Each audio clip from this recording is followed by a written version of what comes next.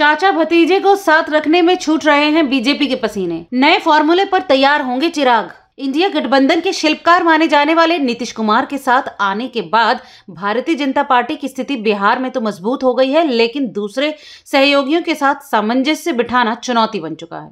BJP Chirag Paswan और उनकी लोक जनशक्ति पार्टी को खुश करने का तरीका ढूंढ रही है।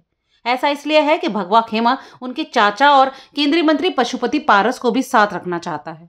नीतीश कुमार की एनडीए में वापसी के पहले बिहार में चिराग पासवान भाजपा के सबसे महत्वपूर्ण सहयोगी थे। उन्होंने कई मौकों पर खुद को प्रधानमंत्री नरेंद्र मोदी का हनुमान भी बताया था। लेकिन नीतीश के साथ आते हुए वो अभी हाशे पर जाते दिखाई दे रहे हैं। तेजस्वी यादव की पार्टी आरजेडी ने परिस्थिति को भांपते हुए चिराग पासवान को आठ लोकसभा सीटों का ऑफ़र दे दिया है। इनमें से छह बिहार की सीट और दो बिहार से बाहर की सीट शामिल है।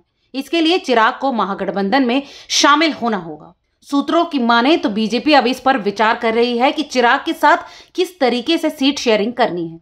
पार्टी के कुछ नेता इसे दबाव की राजनीति बताते हैं। आपको बता दें कि चिराग पासवान के पास कथित तौर पर 6-7 परसेंट वोटों का समर्थन प्राप्त है। हालाँकि पार्टी में हुई टूट के बाद इसका आंकलन होना बाकी है। राजद के एक नेता ने कहा कि चिराग और तेजस्वी एक दूसरे का बहुत सम्मान करते हैं।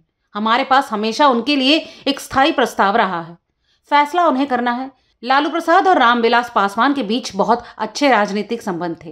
वहीं चिराग के अलावा भाजपा को उनके चाचा केंद्रीय मंत्री पशुपति कुमार पारस को भी संतुष्ट करना होगा।